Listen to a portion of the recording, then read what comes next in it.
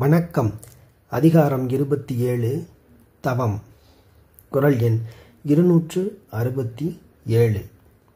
சுடச் சுடரும் பொன்போல் ஒளிவிடும் துன்பங் சுடச் சுட நோற்கிற் பவர் சுடச் சுடரும் அப்படின்னா இப்போது ஒரு பொருளை வந்து தீயினால் சுட சுட அது வந்து பொலிவு கூடும். அது எதுன்னா தங்கம் என்பது அதற்கு உதாரணம்.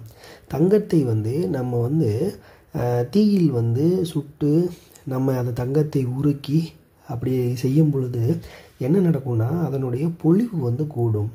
சரி பொன் போலன்னா தங்கத்தை போல அப்படின்னு இவங்க சுட்டியிருக்காங்க ஒளி விடும் அப்படின்னா ஒளிர்தல்.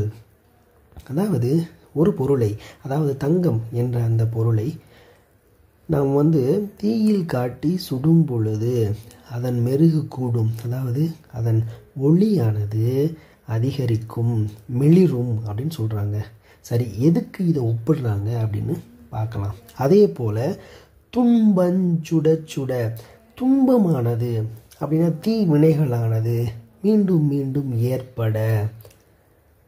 சுட சுட நோர்க்கிற்பவர்க்கு. நோர்க்கிற்பவர்னு யாருன்னா தவம் மேற்கொள்பவர். தம்மை தாமே வருத்தி கொண்டு ஒரு குறிக்கோளுக்காக நோன்பு நோற்பவர்கள் அப்படின்னு அர்த்தம். அப்போது இங்கே என்ன சொல்ல வர்றாங்கன்னா கிறிஸ்பா எப்படி பொன்னானது தீயானது சுட சுட அது பொலிவு பெறுமோ அதுபோல தவம் ஏற்பவர்களுக்கு துன்பம் ஏற்பட ஏற்பட அவர்கள் அறிவு பெருகும் அப்படின்னு சொல்லியிருக்காங்க. அந்த அர்த்தத்தில் தான் நம்ம இங்கே எடுத்துருக்கணும். ஒளி விடும் அப்படின்னா ஒளி அப்படிங்கிறது என்னென்னா இங்கே வந்து அறிவு ஒளி ஞான ஒளி. சரி இங்கே துன்பம் அப்படின்றத எந்த மாதிரியான பொருள் எடுத்துக்கணும் அப்படின்னா இப்போ ஏதாவது ஒரு சிந்தனையை நோக்கி ஒருத்தவங்க தவம் செய்தாங்கன்னா அந்த சிந்தனை மாறுபடும்படியாக அவர்களுக்கு ஏற்படக்கூடிய இடைஞ்சல்கள் அவருக்கு ஏற்படக்கூடிய சங்கடங்கள் அதை தான் நம்ம இங்கே துன்பம்னு எடுத்துக்கணும். அப்போ இங்கே கிடைக்கக்கூடிய ஒளியானது என்னது?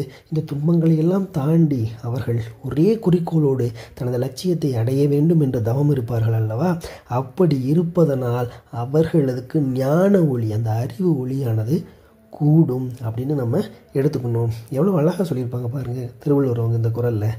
பொன் எப்படியானது மிளறுகிறதோ தீ சுட சுட அதுபோல் துன்பம் வர வர இடைஞ்சல்கள் வர வர அதனை சமாளித்து யார் ஒருவர் நோன்பு நோக்கிறார்களோ நோன்பு என்பதுனா நான் என்ன சொல்ல வரேன்னா அதாவது தம்மை வருத்தி கொண்டு யார் ஒருவர் தவம் செய்கிறார்களோ அவர்கள் ஞான ஒளி பெறுவார்கள் அப்படின்னு.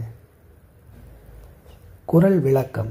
நெருப்பால் சுட சுட பொன்னின் ஒளி பெருகி அது மிளிர்வது போல துன்பங்களானது. அடுத்தடுத்து தவம் செய்பவரை தீண்டும் பொழுது அவர்கள் அறிவு அடுத்தடுத்த நிலைக்கு சென்று தெளிவு அடையும். இங்கு துன்பம் என்பது தவம் இருப்பவர்களுக்கு ஏற்படுகின்ற தடங்கல்களை குறிக்கும். நன்றி. நாளைக்கு அடுத்த குரலில் சந்திக்கலாம்.